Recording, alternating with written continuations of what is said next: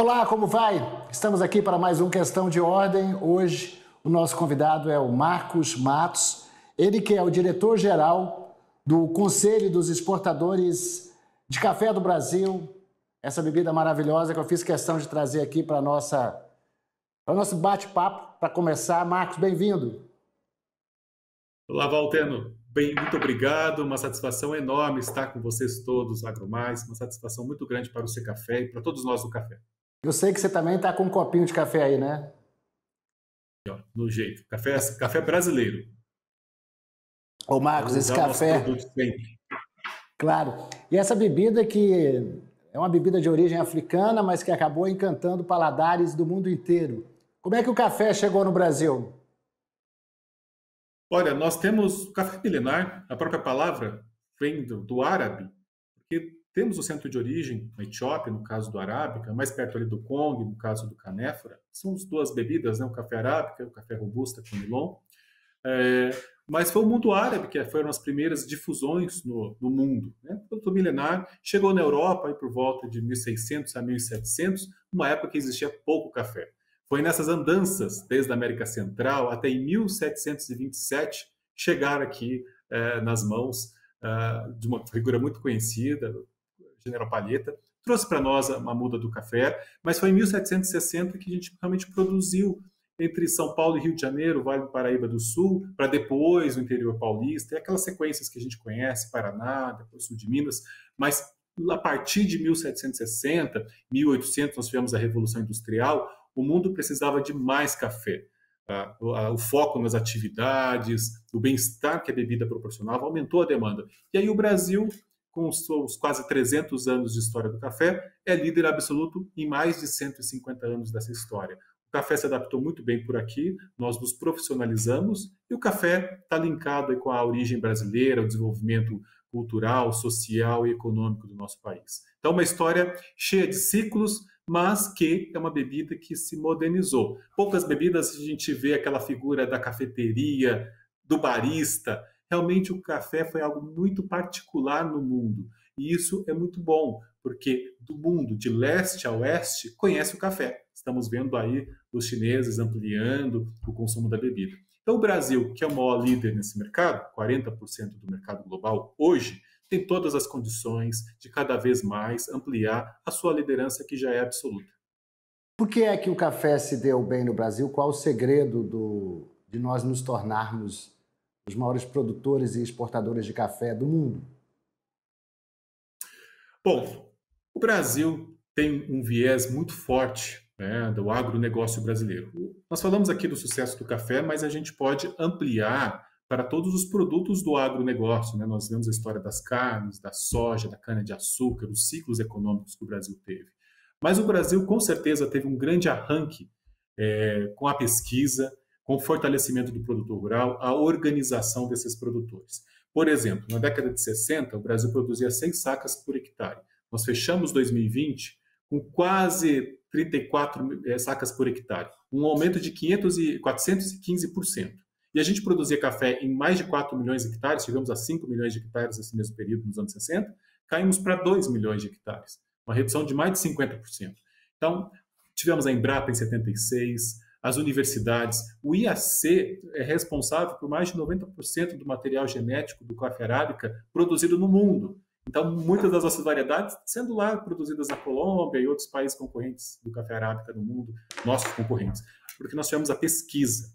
E isso foi muito importante, é o alicerce desse sucesso é, do café. E nós temos um setor muito organizado. Os exportadores, eles estão muito próximos é, dos produtores, as cooperativas muito próximas. Então, nós rapidamente abastecemos o mercado interno, fazemos as nossas exportações. O Brasil aproveitou toda essa demanda maior é, do mundo por café, cafés de qualidade, e passou de um grande exportador de commodity para o líder global. E um líder global que exporta expressivos volumes, líder absoluto, mas também bate recordes de qualidade na safra 2020, que foi uma grande safra brasileira, que deixa saudades de tão importante que foi para nós, batemos todos os recordes com a safra 2020.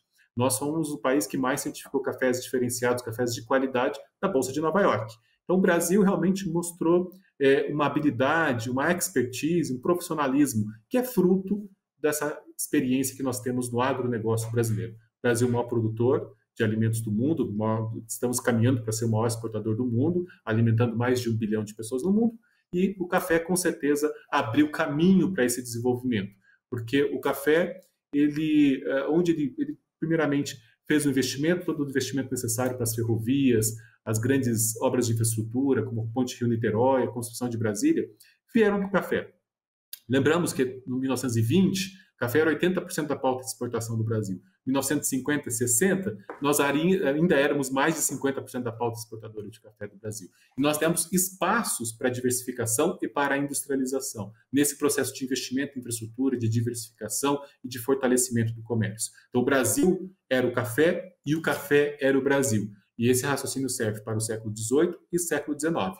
Com a modernização, a pesquisa aqui mencionada, o Brasil deu o salto que precisava, porque o mundo aumentou a sua demanda com a urbanização, as revoluções industriais, todo o mundo que se sucedeu desde então. E isso explica muito, em parte, o sucesso brasileiro.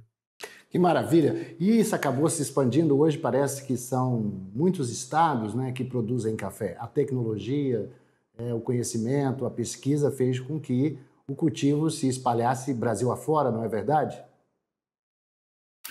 Com certeza. Nós temos hoje, olhando a safra 20 e a safra 21, que praticamente já foi colhida, Minas Gerais é mais de 50% da produção brasileira, um estado que produz café arábica, o Cerrado, é, sul de Minas, Matas de Minas, regiões muito importantes. Nós temos o Espírito Santo, o maior produtor de café conilon do mundo, mas também produz arábica ao sul, produz conilon também no centro e ao norte. Nós temos São Paulo, na região da Mogiana, toda aquela região de Franca, patrocínio paulista, produtor de arábica. A Bahia tem produção tanto de arábica quanto de conilon.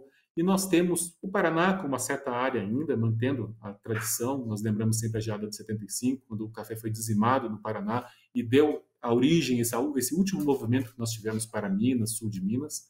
E nós temos Rondônia, que é um polo de mais de 2 milhões e meio de sacas de café Conilon, produzido de forma sustentável, em agricultura familiar, harmonizado com a floresta, com produção inclusive de povos indígenas. Povos indígenas esses que têm ganhado concursos de qualidade.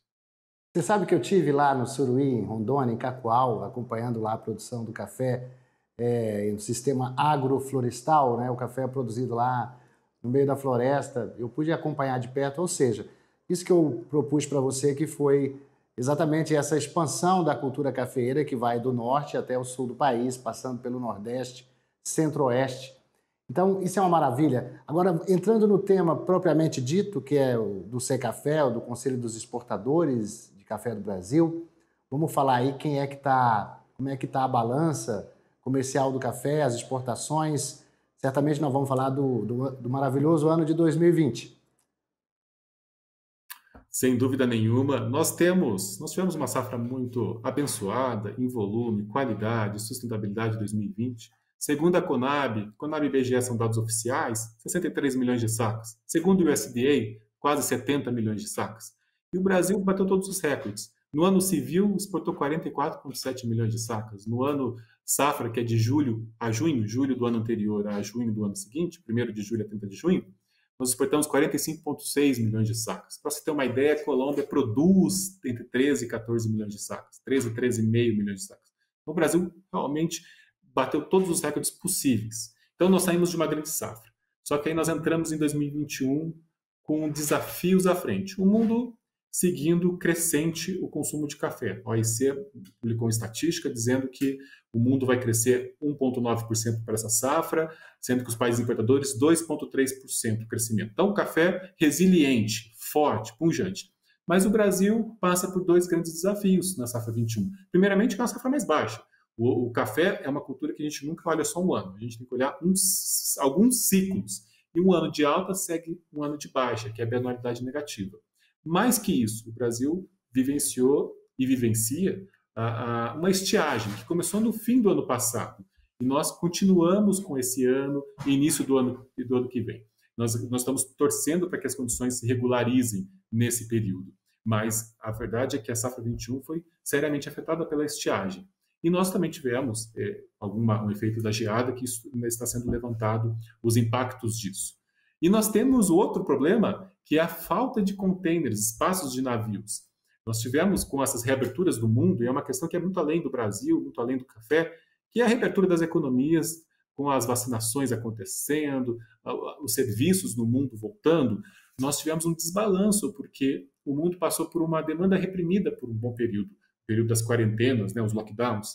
Quando reabre, existe uma demanda grande por bens e serviços, bens alimentícios, produtos eletrônicos para o trabalho remoto, como a gente faz aqui no Brasil também, e essas grandes linhas, China, Europa e Estados Unidos, houve uma sobrecarga nesse sistema todo. E o Brasil, que tem uma posição geográfica um pouquinho mais distante, sente. E nós somos mais exportadores que importadores. Nosso agronegócio é pungente. Nós usamos containers no café, na, na, nas carnes, refrigerados, a soja geneticamente não geneticamente modificada também vai para containers, açúcar ainda vai para containers uma boa parte, vários produtos. E o que isso acontece? Desbalanços. Né? Nós temos sucessivos cancelamentos de bookings. O que é isso? É aquele espaço no navio que a gente agenda para exportar. Isso gera, acirra uma disputa por container e por espaço de navios. E os fretes dispararam. Né? O Brasil, fretes para Estados Unidos de 1.7 mil dólares foi para 4, 5, chegou a 10. Então, os números se multiplicaram, mas é um fator global, essa questão do aumento de fretes. Afeta todas as origens, né, nossos concorrentes também. Mas o Brasil tem esse problema específico de desequilíbrios de container. E isso acarretou uma queda nos últimos meses. Inclusive, fechamos o relatório de agosto de 2,7 milhões de sacas, uma queda de 25% em relação a agosto do ano passado. Então, nós vínhamos muito forte exportação no ano civil, chegou maio, junho, julho, agosto, uma queda pela disponibilidade, pela realidade da safra 21 e também uh, pela condição da, da, logística. Nós, no acumulado de janeiro a agosto, a gente está 1,8% abaixo de janeiro a agosto de 2020. Mais acentuado nos últimos meses, porque no começo do ano, no primeiro semestre, a gente, ainda estava no contexto da super safra 2020, né? aquela superprodução, a gente ainda tinha volumes, como ainda tem café disponível, mas encaramos com a dificuldade da nova safra e da disponibilidade de navios e toda essa concorrência logística, com fretes, com dificuldades de agendamentos. Então, isso tudo é, impõe desafios. O Brasil vai continuar cumprir seus compromissos né, assumidos, só não vamos ter recordes nos próximos períodos. Aquela grande safra 2020, talvez bater o recorde dela, nós vamos ter que olhar um pouquinho mais para frente. Como disse, café é uma cultura perene. Nunca analisamos um único período, temos que olhar toda uma tendência. E a tendência do café é de alta, alta de consumo e alta da participação do Brasil também. Podemos ter anos de queda, mas a linha de crescimento é uma tendência. Então é essa tendência que o Brasil está se preparando. Não olhar o momento específico, mas no longo prazo a gente está bem, bem estruturado para atender as demandas e torcer para que as coisas se regularizem na questão clima, porque clima nós não temos muito a fazer, né, Valteno? Não temos muito, né? Mas podemos, com boas práticas, tentar encontrar alguma coisa que mitigue, né? Que faça, minimize os impactos. Verdade, Marcos. E, e quem são os nossos maiores compradores e para onde nós estamos expandindo esse negócio? Bom, nós temos mercados tradicionais, nós temos novos mercados, a gente exporta para mais de 120 países. Né? Quando a gente olha, vamos pegar de janeiro a, a, agosto desse ano, que é um dado mais recente, Estados Unidos foi o maior comprador do café brasileiro, quase 5 milhões de sacas. E interessante que mesmo nessa, nesse contexto da queda das exportações, aumentou 1%. Depois nós temos a Alemanha, tradicional mercado brasileiro, eterno, sempre segundo colocado, muito importante para o Brasil, com 4,6 milhões de sacas. Praticamente ali estabilizado, mas ainda também, no caso da Alemanha, tivemos aí um crescimento de um pouco mais de 1% também. Depois nós temos Bélgica e Itália na sequência. Ambos países caíram, estão por volta de 1,8 milhão de sacas, mas Bélgica caiu 6%, Itália caiu 10%. É essa realidade que nós estamos convivendo, né, que nos diz isso. Mas nós temos outros países, inclusive nos destaca a questão dos países produtores de café como Colômbia, que já figura entre os maiores importadores brasileiros. Né? A Colômbia hoje exporta ali por volta de um milhão de sacas no Brasil também, já olhando um ano mais fechado, um ano civil mais completo. E nós temos também países árabes aumentando as compras do café brasileiro. Então, esses grandes conjuntos de países também buscam mais café brasileiro. E o Brasil tem todas as condições, porque nós não temos uma única qualidade, nós temos mais de 30 regiões produtoras no Brasil, nós temos mais de 13 ou 14 denominações de origem. Então, o Brasil tem uma diversidade de qualidades, todas com muita sustentabilidade. E nós encontramos, é o que o consumidor realmente precisa. O mercado árabe tem uma característica, e estamos com um projeto de promoção da imagem por lá acontecendo, da mesma forma que temos um grande projeto de promoção da imagem do, do café brasileiro na China, e esse sim nos orgulha falar, contar essas histórias, porque é uma ação do Brasil buscando sim ampliar a presença, aproveitar esses crescimentos, essas urbanizações, porque o jovem, muitas vezes no mundo asiático, olha o café como um símbolo cultural, é o símbolo ocidental, e ele gosta desses grandes centros. Xangai, Pequim, são centros que têm muitas grandes cafeterias, redes importantes internacionais e cafeterias de qualidade. Então, o Brasil pode, com certeza, aproveitar esse mercado todo e é nesse sentido que começamos o projeto por lá. Pois é, isso é interessante porque na China, a China que é o nosso maior comprador aí de commodities, né, é, é muito importante para o nosso agronegócio, para o nosso PIB rural, é, eles têm a tradição do chá. Então, assim, a gente tem que entrar sabendo como entra nessa questão cultural, mas me parece que aos poucos o café também vai conquistando os paladares chineses. Exatamente. A, história da China, porque quando a gente analisa a cultura do chá, nós encontramos em outros países também. Voltamos 25 anos, 30 anos no passado, nós vamos lembrar como foi o mercado japonês, o mercado da, da Coreia do Sul e até mesmo o mercado russo. Né? A cultura do chá muito forte, muito presente. E nós entramos com o café solúvel, porque o, o solúvel é aquele produto que abre as fronteiras. Né? A partir do momento que é muito fácil substituir o chá pelo café solúvel, porque é uma infusão, é o mesmo processo de um e de outro. E aí o consumidor conhece o café, o paladar do café, e ele aumenta o consumo do café solúvel. E ao conhecer o café solúvel, ele cria a curiosidade de conhecer os outros cafés também. Então ele, ele segue com o solúvel e conhece o café arábico, o café com limão, o expresso, o café filtrado, todas essas outras formas de se produzir. E hoje o Japão e a Coreia do Sul são mercados de muita qualidade. São os cafés que o Brasil exporta, tem esse mercado, cafés de altíssima qualidade. Então, nós entendemos que a China tem um público urbano muito forte. Há cinco anos atrás, a gente estimava que 190 milhões de chineses conhecia o café. Hoje, nós estimamos mais de 300 milhões de chineses conhecendo o café. Então, nesse contexto, há espaços para o nosso café solúvel. O Brasil é o maior exportador de café solúvel do mundo. Nós temos uma indústria muito forte, inclusive novas plantas industriais no Espírito Santo sendo inauguradas em plena época de crise. E nós podemos ampliar as exportações de café solúvel até um milhão de sacas dessas novas plantas, mais aqueles por volta de 4, 4,5 milhões de sacas que nós já exportamos. Nós transformamos os produtos sempre em sacas de café verde equivalente, apenas para a gente ter o mesmo padrão de comparação. Então, a China, que já conhece o café solúvel, já tem as redes de cafeterias, linka o café com a realidade do Ocidente, né, o símbolo cultural. Então, nós temos, naqueles grandes centros urbanos, uma tendência de crescimento muito forte. É nesse sentido que nós selecionamos sete regiões no Brasil, mandamos as amostras dessas regiões, quatro foram imediatamente é, aceitas para iniciar um projeto. Vamos ter o mês do Brasil na China, o mês inteiro distribuindo café dessas quatro regiões e nós produzimos vídeos, vídeos humanizados, o produtor contando a história da satisfação que é saber que o café dele está sendo degustado lá no país, do outro lado do mundo.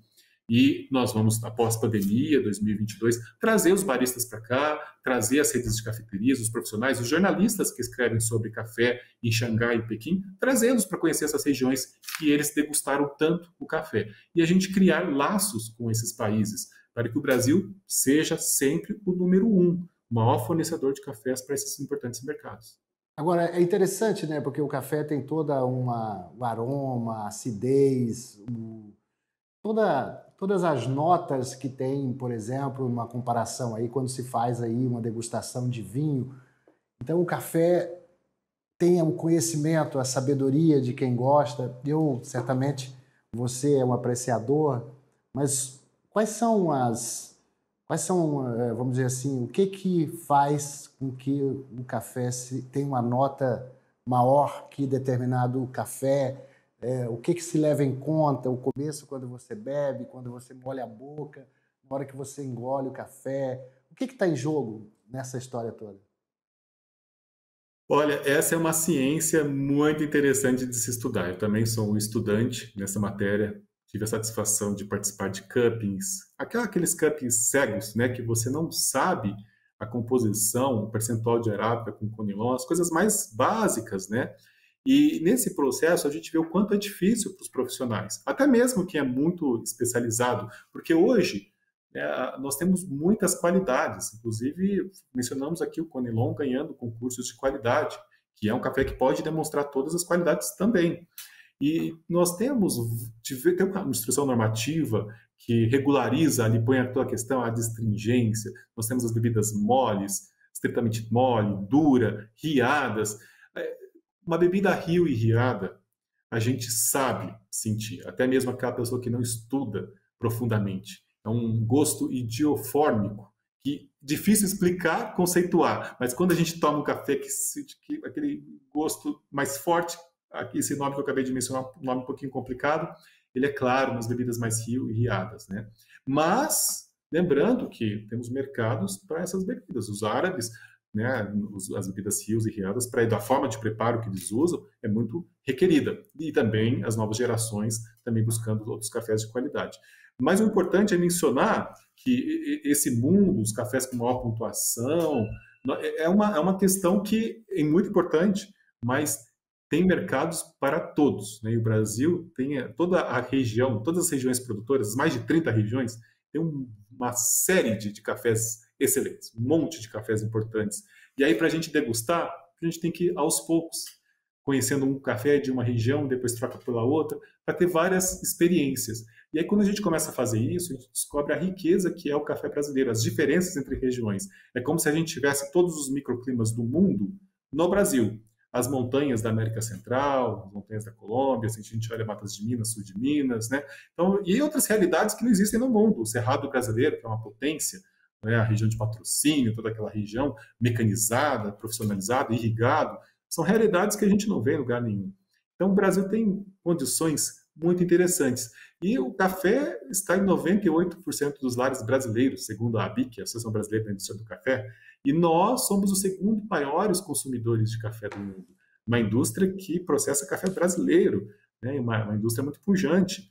Então é interessante quando a gente faz essa análise, a importância da nossa cultura. E a nossa primeira refeição se chama café da manhã. Está ali a palavra café, justamente para a gente despertar, iniciar nossas atividades, né, cada um com a sua atividade. Então, realmente está intrínseco na nossa cultura. E as pesquisas mais modernas, Walter, explicam uma coisa importante. É, o café ele é um termogênico natural. Isso para o pessoal que gosta de ir para as academias, né, acelera o metabolismo, põe o corpo em alerta e ajuda a queima de gordura. Esse é um dos poucos elementos ali que tem é, evidência científica é a cafeína. Outros produtos, outras bebidas também têm cafeína, sabemos disso. Mas o café é uma fonte natural. Então você automaticamente toma um termogênico natural que vai te pôr em alerta e vai fazer bem para o seu corpo. Inclusive, se quiser malhar, correr, né, uma atividade física ali que é sempre bem-vinda. Bom, o papo está muito bom, tomando café aqui com você, mas já estamos chegando ao final. Você tem um tempo aí para poder fazer aí as considerações finais. A gente está na cidade, está no campo, muita gente está nos assistindo. Fique à vontade, Marcos Matos, nosso conselheiro aí do C Café. Marcos, que é diretor-geral do Conselho dos Exportadores de Café do Brasil. Fique à vontade para tomar um cafezinho de despedida com a gente. Com certeza, o cafezinho está sempre aqui. Mas o café é parceiro do produtor, é parceiro da indústria, é parceiro dos exportadores. A gente tem muitos desafios, né? estamos sempre atentos às dificuldades logísticas, às questões tributárias.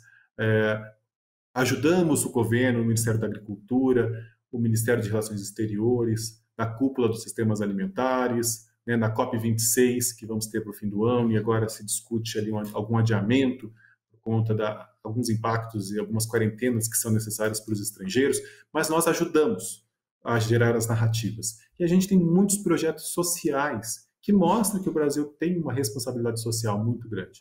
temos projetos de capacitação de produtores, com o produtor informado, temos projetos de inclusão social dos, das, dos alunos da rede pública do meio rural, temos mais de 100 laboratórios digitais implantados nas regiões produtoras, né, no meio rural, escolas públicas do meio rural. E nós temos também projetos como de carbono para avaliar o balanço de carbono do café brasileiro. Nós queremos mostrar para o mundo, com metodologias reconhecidas pelo mundo, que o nosso carbono é verde, que o nosso balanço é negativo, ou zero ou negativo. E nós temos todas as condições de, de participar desse mercado grande de carbono que está sendo regulamentado nesse momento. Então, cabe ao privado, via suas associações, buscar aquilo que pode gerar mais renda ao produtor. E por essas e outras, isso inclusive explica o sucesso da cafeicultura no Brasil, o Brasil é o que mais repassa o preço FOB exportação ao produtor. Esse índice oscila de 80% a 91%.